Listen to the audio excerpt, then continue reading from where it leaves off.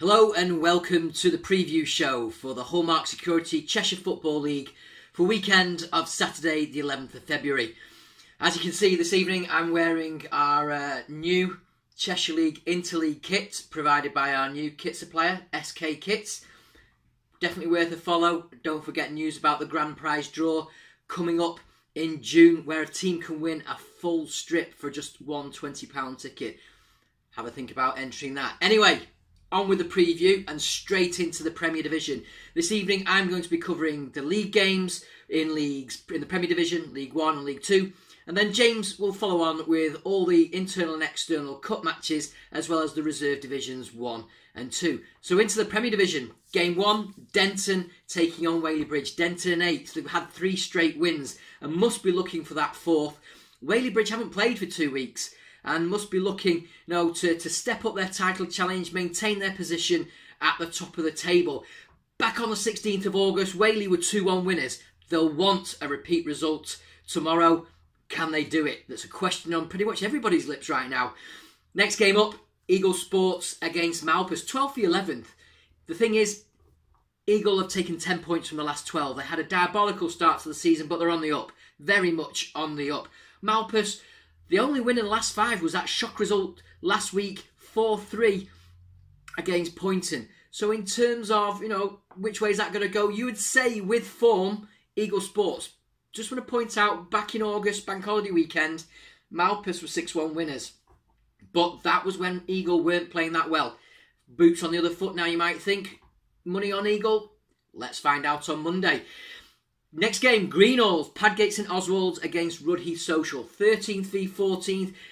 They're both in danger of getting sucked into the relegation battle, bearing in mind Styal and Garswood's form over the last couple of weeks. Greenalls, they've not won in the league since October. Rudheath, they've won one of the last five league games. Um, they've not actually played in the league so far, but Rudheath did beat Greenalls 5 1 in the League Cup. So everything to play for, and they could be swapping positions Watch this space. My money's on a draw, but hey, I can be wrong.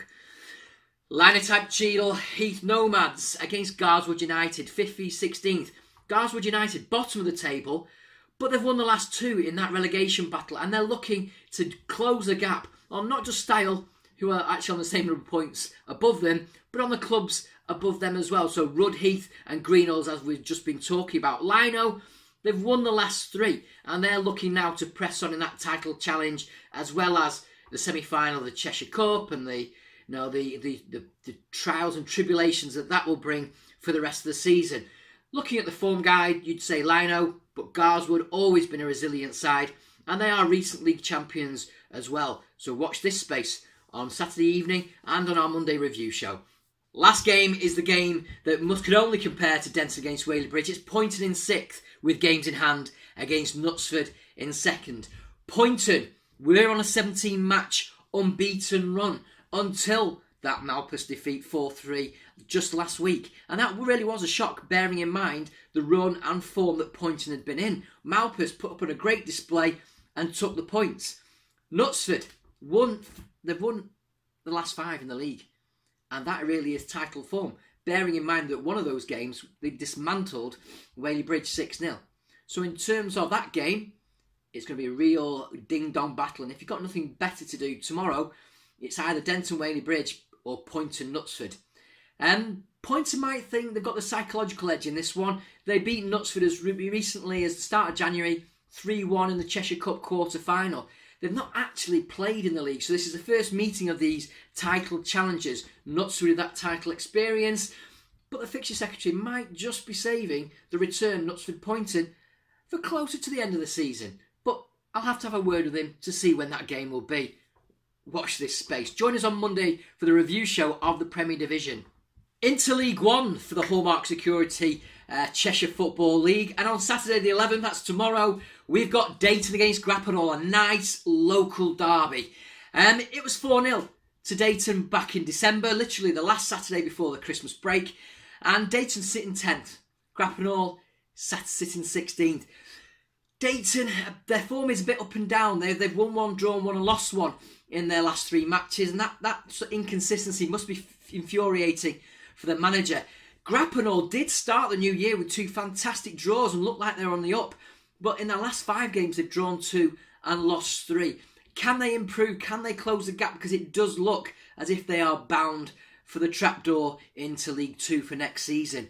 Next game up in, in that division, Golborne Sports take on AFC Macclesfield, ninth against fourth. Golborne won four out of the last five games. They are on the up. They're looking to push, no, looking for slip ups from the teams above. Uh, AFC Macclesfield, they've won three, drawn one, lost one in their last five.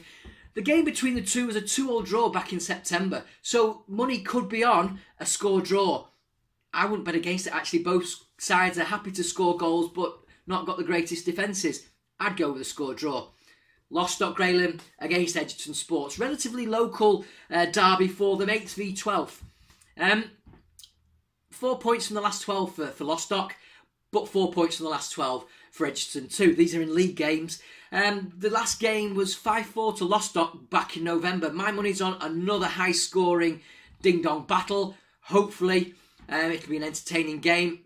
Trying to predict the winner in that one, absolutely no clue. I think there will be a winner, um, but I'm not sure which way that one's going to go. Mersey Valley um, against Cheadle Town, 7th v 15th. Mersey Valley, they've taken three points um, from the last 15. Cheadle Town reserves, what's going on there? They've lost the last 11 league games, but they've managed to qualify for the J.A. Walton Cup semi final. Fantastic from them. Great form in the Cup.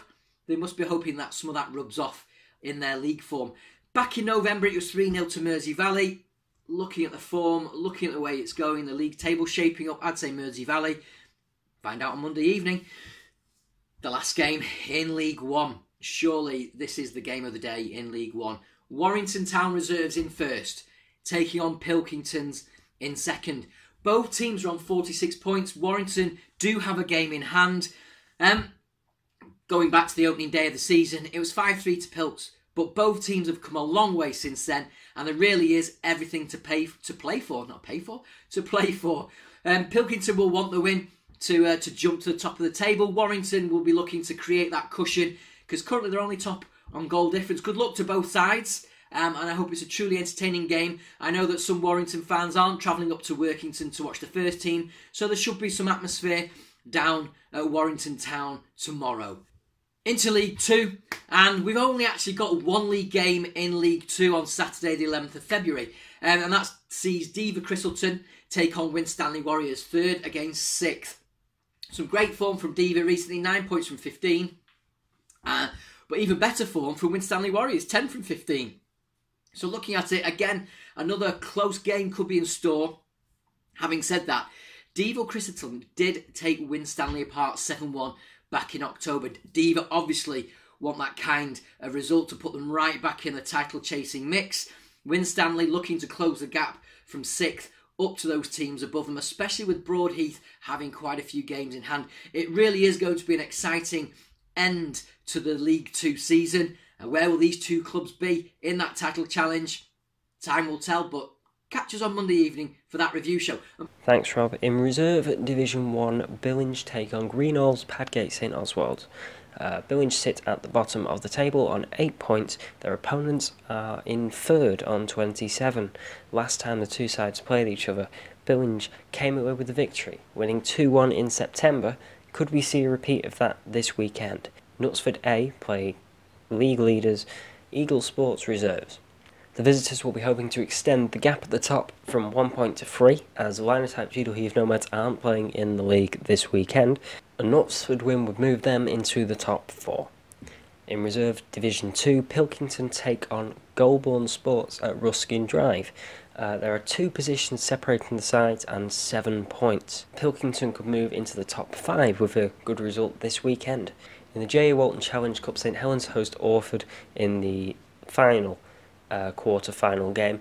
Uh, the winner will go on to face tough opposition in Warrington Town Reserves in the next round, which is the semi-final.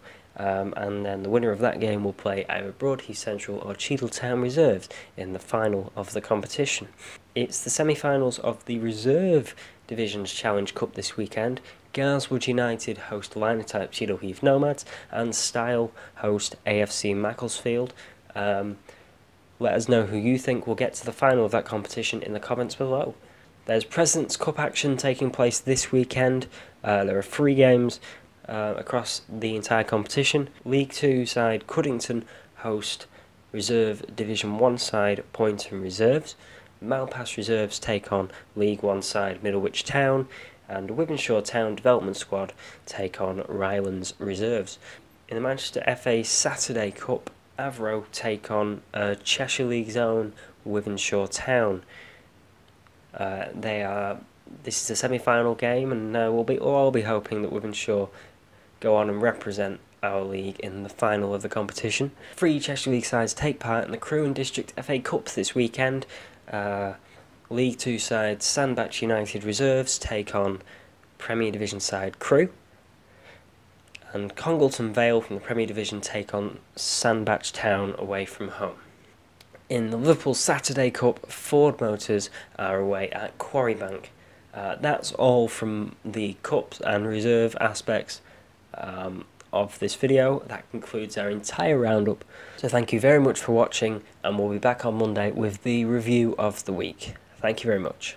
By the way, just another plug, SK Kits, and there you can see the uh, the uh, the sponsor, our new uh, kit suppliers, and there'll be some exciting news for our clubs and teams about things we've got in store for you for next season, um, the package of products and services that we're going to be offering to our teams um, from season 2017 2018. I'll speak to you on Monday evening.